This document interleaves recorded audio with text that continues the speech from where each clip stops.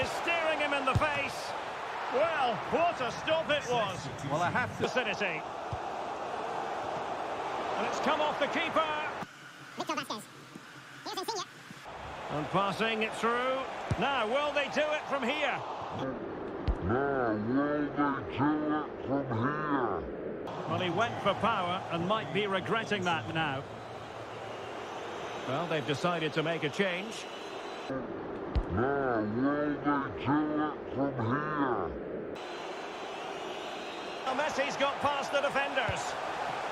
And the ball is loose. And the keeper to the risk.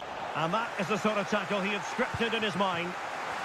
Well, space if he goes inside. Can he put it away? And a goal! This is why we adore this game. Late drama. And now they're in front.